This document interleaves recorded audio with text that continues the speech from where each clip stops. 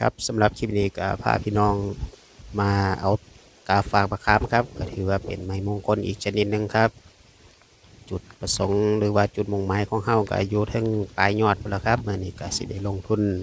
ขึ้นตัดให้พี่น้องเบิ่งจักน้อยนะครับครับไม้มะขามก็ถือว่าเป็นไม้มงคลครับ ที่มีความเสื่อมาแต่โบราณนะครับ ที่คนนิยมปลูกไว้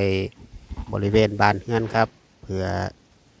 อาศัยลมเงาแล้วก็ผลยังมีประโยชน์ครับนำมารับประทานได้นะครับ แล้วก็ยังมีความเสือครับ ว่าปลูกไว้บานไว้เฮือนครับปลูกต้นมะขามไว้บานไว้เฮือนก็เฮ็ดให้คนเก่งขามครับ ซึ่งก็มีการนำไปทำเครื่องรางของขังได้อีกหลายอย่างครับ โดยเฉพาะต้นที่เพิ่นมีแก่นก็เชื่อว่าต้นนั้นก็เป็นมงคลที่สุดครับก็คือ ค่อนข้างที่หายากจักน้อยเนาะครับ ครับนี่ก็เฮาก็ขึ้นมาบริเวณกาฝากของเพิ่นแล้วครับก็ถือว่าเป็นจริงที่มีจำนวนหลายจักน้อยอยู่ครับ แต่ว่าเมื้อนี้ผมก็สิบ่ได้เอา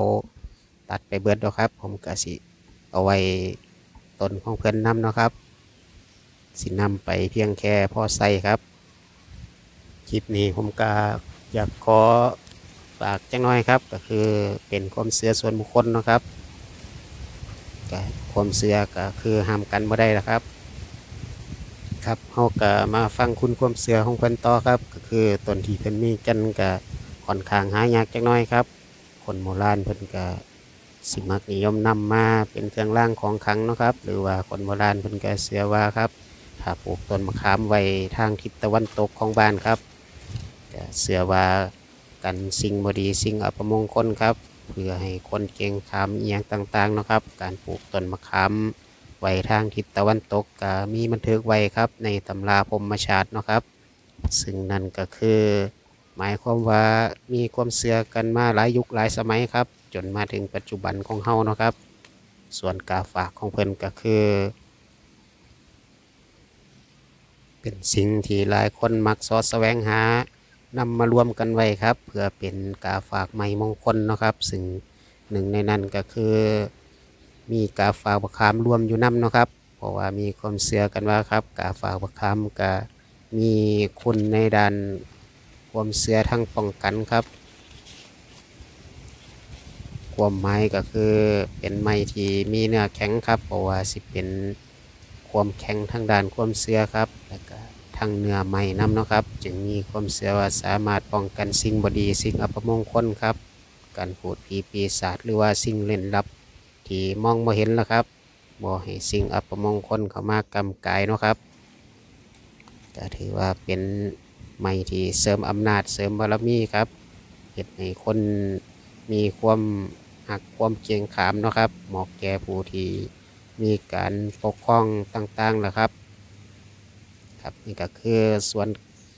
จริงของเพิ่นครับ ที่เพิ่นติดกาฝากเนาะครับ ผมก็ขอย้ำนำพี่น้องนะครับ ว่าเป็นความเสื่อส่วนบุคคลครับ ครับนี่ก็คือส่วนที่ผมตัดมาแล้วนะครับ ผมก็สินำมาเก็บไว้เพียงแค่นี้นะครับครับการตัดไม้กาฝากครับ ก็ต้องตัดในมือที่มีความเป็นมงคลอย่างน้อยนะครับ ก็คือ ตัดในช่วงข้างขึ้นของเดือนครับห้ามตัดใน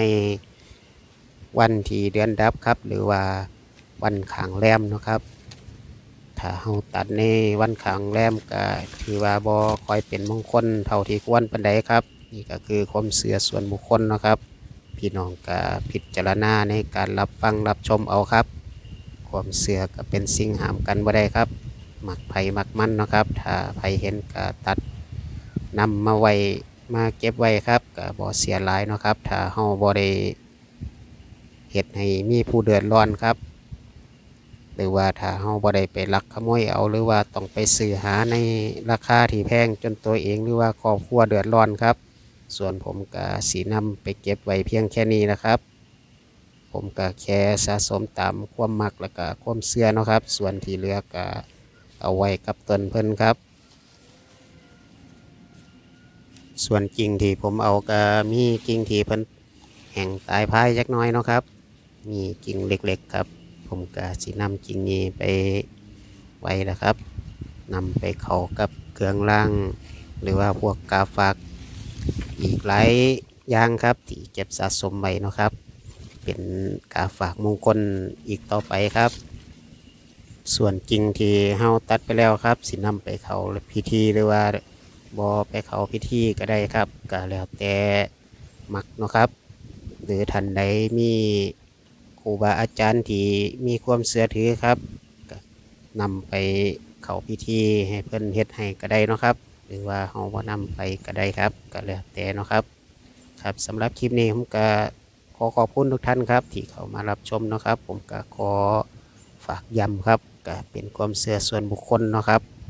ถ้าท่านใดบ่มักก็ขอให้ผ่านครับสำหรับคลิปนี้เนาะครับ ครับก็ขอขอบคุณทุกท่านที่เข้ามารับชมและก็ติดตามครับ